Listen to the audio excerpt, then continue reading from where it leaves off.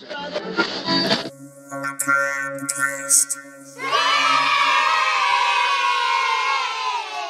devil's on the loose and he's dancing with the mummy. Dark Mark and Karis, the little mummy, here to bring you another episode of Macabre Cast, where we'll be dropping R's where they belong and adding them where they don't.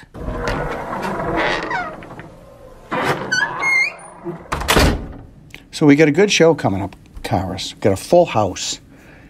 Full house today. Um, return of Tina from Chicago. Grim Kim's on. Scary Larry. Horror Chat Matt. The important people are all here.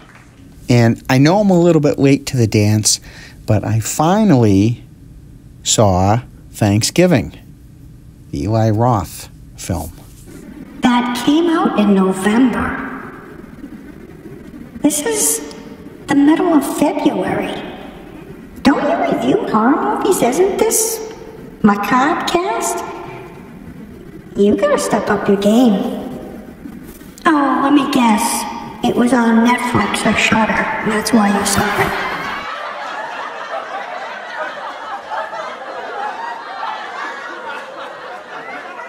Yes, I believe it was on Netflix. And pretty much like everyone else on this show has already said, um, it was excellent. I loved it. Although it took my wife Laura to point out, we've seen this movie before. This was literally my Bloody Valentine plot only at Thanksgiving.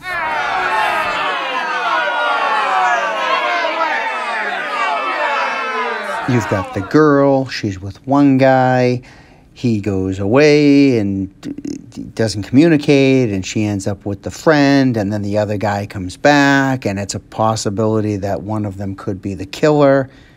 It's my Bloody Valentine. I, and don't get me wrong, I still thoroughly enjoyed this movie. I loved it, liked it a lot, and hope there's a sequel.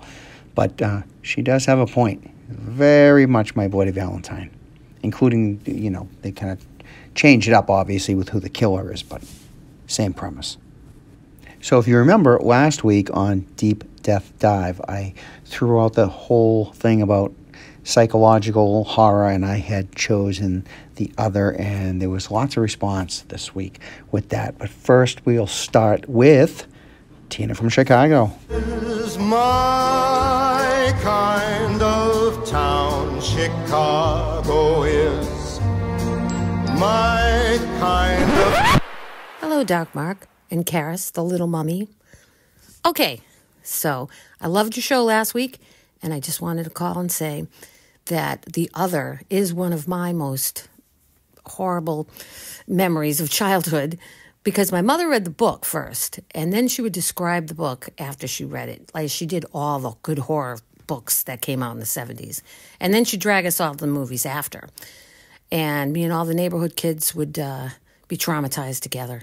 So the other was good, but how about Who Slew Auntie Roo with Shelley Winters and Mark Lester?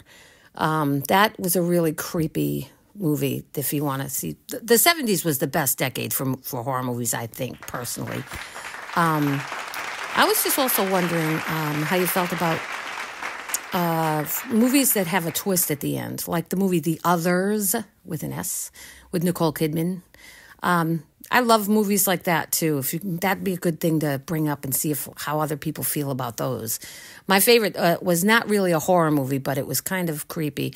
Was Shutter Island um, by Dennis Lehane, and that book and movie were spot on, and it was really creepy. The last lines of, if you understood it, it the last lines of the um, movie or the book, they were perfect.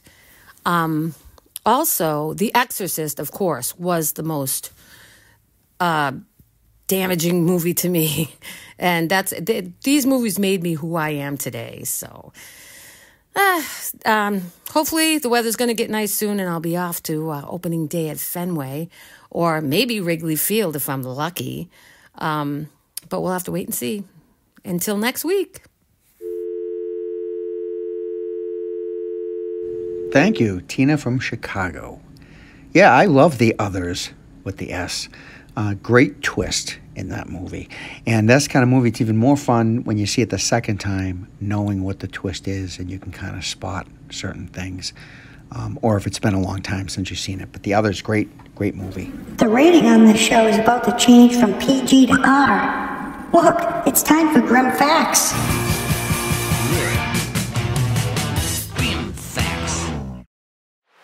Dear little Karis, thank you for my swear jar.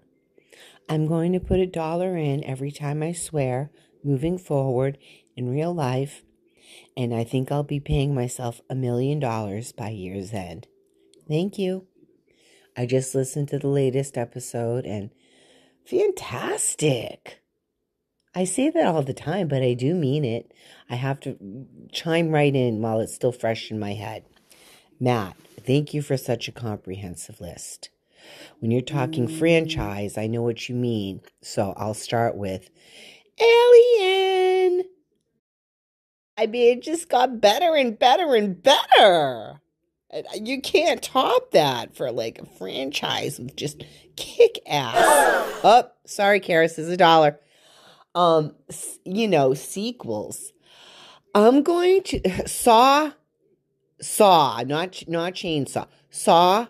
It's a joke, and I hate it when it gets to just be a money generating workhorse that it's like it's it's not even a parody of itself anymore. It's just pathetic. I hate that kind of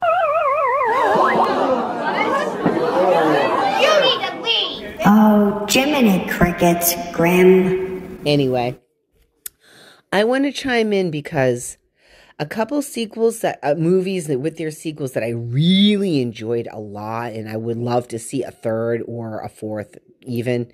The Descent, ah, oh, so good. I would love a third of that one.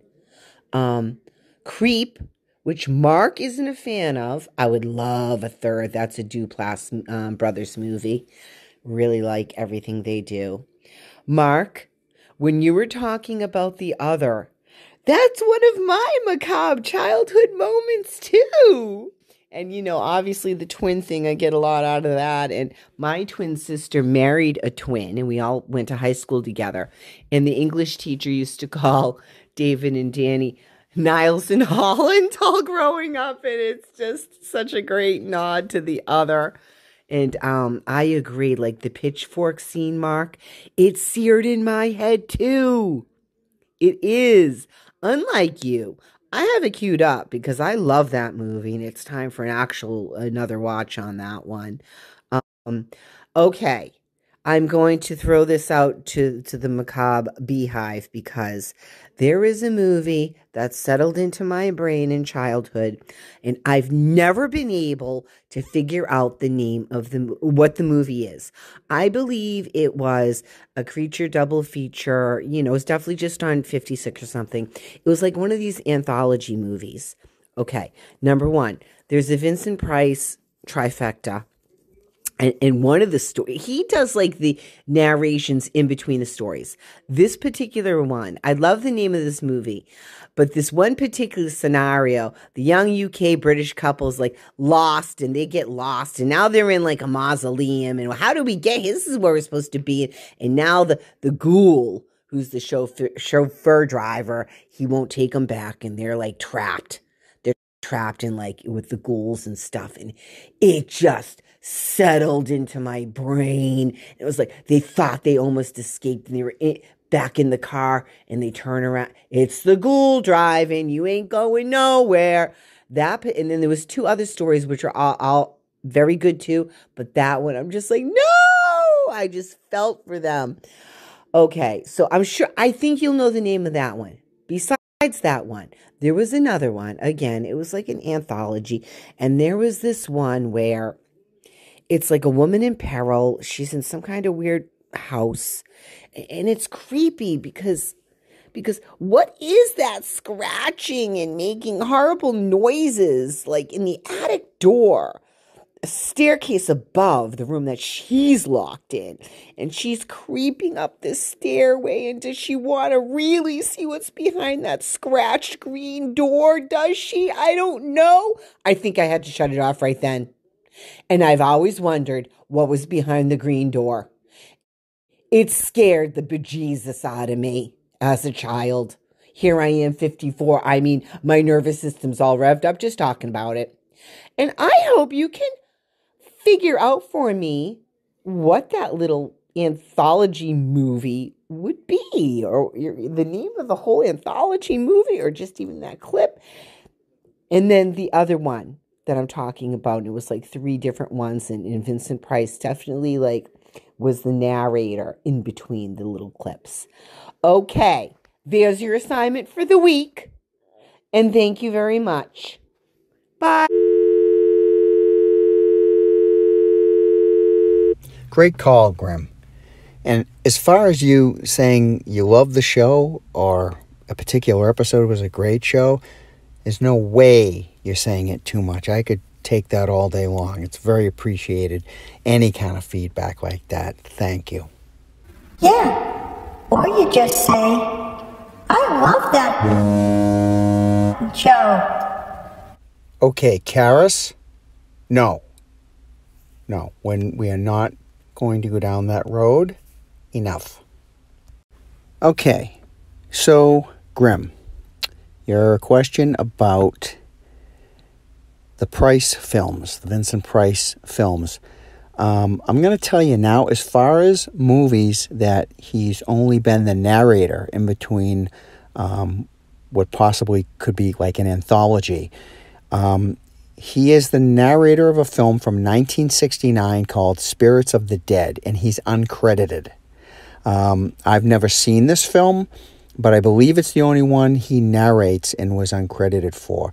Because as far as um, as far as an anthology, I don't think it's an anthology because the the uh, or, or, it may be an anthology, but I, I just know that that's a film in particular that he only narrates. The two most popular anthologies that Vincent Price is in is um, 1962 Tales of Terror, uh, which is based on Edgar Allan Poe stories. I've seen that many times. Uh, there's no scene with scratching at a door in it. And Twice Told Tales, uh, Nathan Hawthorne stories. That's what those are based on. That's that's from '63. I don't know if I said that. And there's no scene in it like that either. However, the film Tomb of Ligeia uh, that Vincent Price is in is about this guy's um, dead ex wife whose spirit inhabits that of a black cat and terrorizes his new love interest within the house. And you mentioned a scene with scratching at the door and all that. That could very well be the movie, but it's been so long since I've seen it. I don't recall a scene like that, but that is probably the movie you're talking about. Oh, you know what it means when we hear that putrid theme. It's time for Horrible Mention. Today's horrible mention is the 1998 rated R remake of Psycho, starring Vince Vaughn, Anne Heche, and Julianne Moore. Uh, wow, what a horrific waste of time this movie was. Uh, the scene uh, with Bates watching through the peephole I think probably had Hitchcock rolling over in his grave. I think every actor in this movie, movie so desperately tried to be so different from the original actors in the original film. Maybe that was the director's fault, the direction he gave, I don't know. This was supposedly a modern remake, modern at the time it came out, while there were certain characters that looked like they stepped right out of the 1950s. Um, just because this is Psycho doesn't mean it can't be done right, because I highly recommend the 2013 series of Bates Motel that was on TV. Very well done, um, very updated, very entertaining, great acting all around. So it can be done. This was just an awful, awful effort. So, yes, this week's horrible mention goes to the 1998 rated R remake of Psycho you could share with the rest of us, Amazing Larry? Greetings, Dark Mark and Karis the Little Mummy. Scary Larry here, and there is so much to discuss this week. First, let's get into answering your question What horror movie left a psychological impact on me as a child? Well, that would be 1957's The Astounding She Monster. This is a staple that was shown all the time on Creature Double Feature, a sci fi horror which happened to be co written but not directed by the notoriously horrible director Ed Wood Jr. Now, it starts off as a crime drama where crooks kidnap an heiress, take her to a remote country home, and hold her until the ransom is paid. They soon hear an explosion in the woods that turns out to be a crash UFO, and an alien monster is set loose on the countryside. What messed with my head and caused many nightmares as a child, this quote unquote monster looked like a human. This was a gorgeous woman in a sheer bodysuit from neck to toe. She's dressed in high heels, makeup, perfect hair, but she's a siren type whose character simply can kill you just by touching you. And it turns out she transfers radium poisoning, which causes immediate death. I recommend you looking this one up if you've never seen it before. Now, to answer Horror Chat Matt's call, my absolute favorite horror franchise has to be The Evil Dead. Love the original three, was not disappointed with the 20, 2013 remake. And it was because that remake was really a blend of both Evil Dead 1 and 2. I was delighted that they brought back Ash in the series Ash vs. Evil Dead. And though Dark Mark and I disagree, I really enjoyed Evil Dead Rise.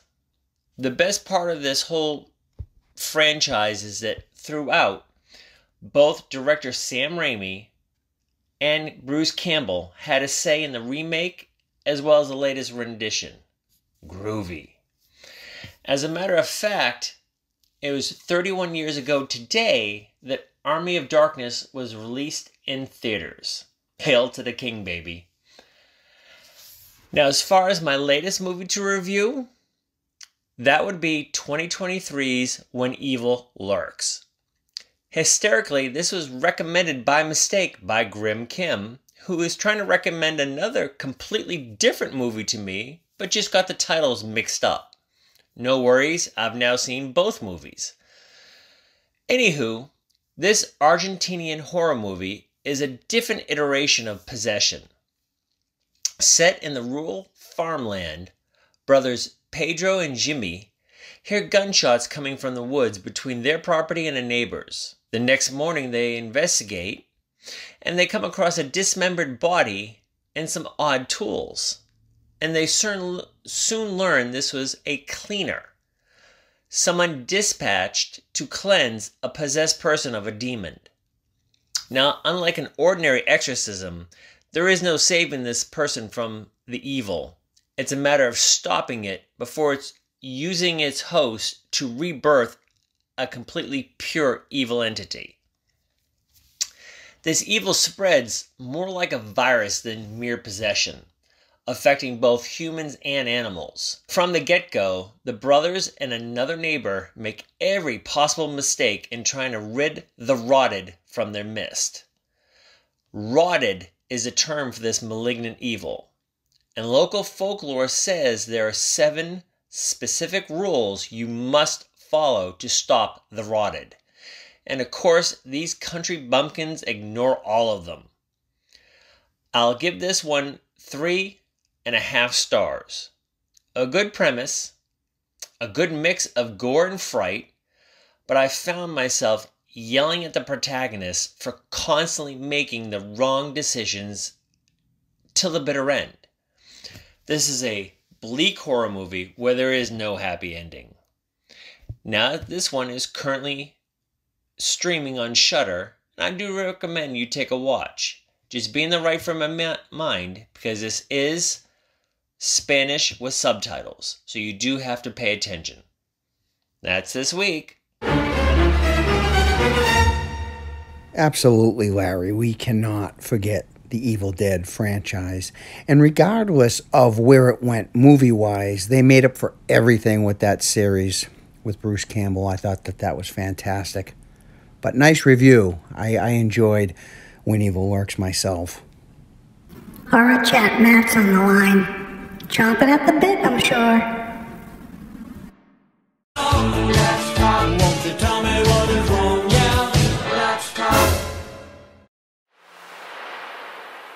Hey, Dark Mark and Karis, Horror Chat Matt here. And another fabulous episode this week, Dark Mark. Uh, you really got a good streak going here. And I want to give a shout out to Scary Larry for his recommendation of Lisa Frankenstein. I was totally going to skip this movie until hearing his review, and now I can't wait to check it out. I also have a horrible mention for you, Dark Mark. Um, as it's been firmly established here, we are both big fans of Jaws and I do my best to try and check out every new shark movie that comes out. And I just had the unfortunate viewing experience of watching No Way Up from 2024. Um, movie has a great B movie concept of a plane that crashes and then sinks into the ocean. Somehow has a air pocket in the plane, and sharks are preventing people from getting out of the plane. Um, it was all downhill from there. Just a really big waste of 90 minutes of my life. Uh, special effects were pretty bad. The story was atrocious, and they um, they took themselves way too serious. So uh, there's no way I will ever be viewing that one again. So that is definitely a miss. In response to your deep death dive question of something that stuck with me over the years, um, since I was around five or six and stumbled upon Alligator from 1980 um, I remember exactly where I was in my living room, uh, just flipping through the channels and just turned onto a scene where there's some kids playing by the pool that an alligator happened to be in, and nobody knew the alligator was in there. And a young boy fell into the pool or was pushed by his friends. And uh, let's just say, I many, many, many years later, I am still looking into the pool before I jump into it, even though we live in Massachusetts. That's how much of an impact that scene has made on my life. And your deep depth dive question got me thinking of what are some of the more stress inducing endings to movies that I've ever seen? For myself, my personal top three. Um, first up, uh, light spoilers here uh, The Mist. Uh, I remember being in the movie theater, just staring at the screen, couldn't believe what was happening there. It's not often that a Stephen King book has a brighter ending than what we got from the movie. An absolute great, great flick. Uh, the next one on my list is 2016 Train to Busan. Uh, kind of a wacky uh, zombie movie over the top from uh, Taiwan, I believe. And um, just the ending to that with a couple of characters traveling through a train tunnel had me on the edge of my seat pl- saying, please don't do this, please don't do this. And number one on my list, I'm going back to Texas. And I have to say, the last five minutes of the Texas Chainsaw Massacre is probably one of the most, from an insane movie from start to finish. Somehow they managed to ratchet up the intensity for the final five minutes after Sally busts out of the chair and jumps through the window. As she's running up the driveway with the hitchhiker slashing at her with a razor blade and Leatherface running out there uh, just a very kinetic uh, scene and has always stayed in my mind. And the the stress I felt for Sally and, and the truck driver as he pulls up, uh, it's just a bonkers ending to a amazing movie. Dark Mark, what are you, what are your top three uh, stress inducing endings to movies that you've seen? As always, keep up the great work and can't wait for next week's episode. And as far as I go, I didn't need the movie Alligator. After Jaws, it didn't matter if I was in a pool or in the ocean. Well, I didn't really swim in the ocean. I was always looking for something that may gobble me up. And top three fear induced endings. That one I'm going to have to get back to you on next week.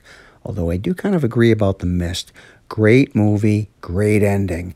Um, I guess a lot of people are buying the black and white version. They have a or they have a disc out there that's got a black and white version. And they say it really enhances the fear in that movie. I have to check out that one when I can. I've seen the color version, but never seen it in black and white. But as always, thank you, Horror Chat Matt. Deep, deep, death, dive. Oh, that's right. It's time again for a deep death dive. And this week, the film The Bad Seed.